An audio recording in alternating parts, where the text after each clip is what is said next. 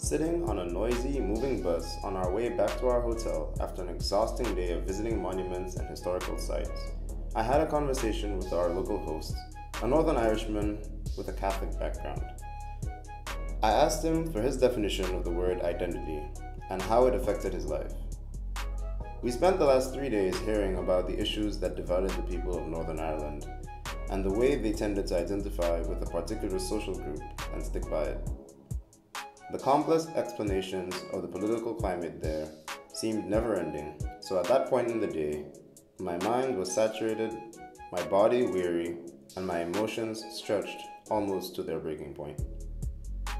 I had to have heard it all by now, I thought. In my mind, I already figured out what I was going to hear from this Northern Irishman, but my assumption couldn't have been more false. His words were enlightening. I expected to get a long, passionate response about history and the importance of loyalty to a particular cause, but instead, I received a stimulating, thought provoking idea. The idea that we each have multiple identities and that they all intertwine and shape themselves depending on who we are and who we are interacting with. Identity is fluid and can change with the wind, but the most important thing to remember is that identity is simply a foundation for human interaction and communication, nothing more.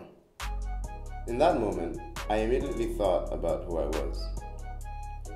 The boy who was afraid to approach anyone but loved speaking to people. The boy who loved cell and molecular biology and hip hop.